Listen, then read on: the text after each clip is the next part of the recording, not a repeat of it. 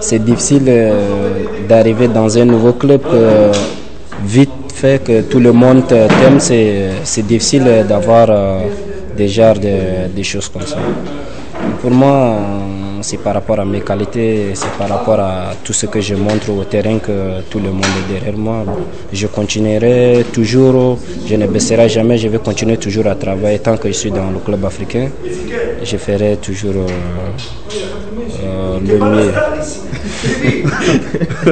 Donc, dernière question avant de venir en Tunisie. On a entendu beaucoup parler en Algérie par rapport à Ezekiel, par rapport à une certaine indiscipline de Ezekiel. Donc, euh, d'après nous ici, le début c'est correct, il n'y a pas de problème. Donc, euh, qu'est-ce qui s'est passé en Algérie? Euh, Qu'est-ce qui se passe exactement avec Ezekiel, avec l'indiscipline?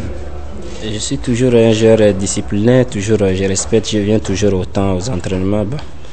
Vous voyez quand le club, quand tu voulais partir, le club commence toujours à dire des mauvaises choses sur nous. Je suis toujours discipliné. Quelquefois, j'ai des transferts toujours en Europe. Je suis parti mettre fois en Europe. L'équipe ne voulait pas me laisser partir. Et après, euh, moi, je suis déconné avec eux. Ben, je suis déconné, mais je, je viendrai toujours aux entraînements, j'assiste toujours aux matchs. Et tu marques toujours Je marque toujours euh, pour but. Euh, j'ai sauvé plusieurs fois l'équipe. L'équipe est en relégation. je suis sorti deux fois meilleur buteur en Algérie, c'est pas mal. Voilà, merci beaucoup Ezekiel et bienvenue une autre fois.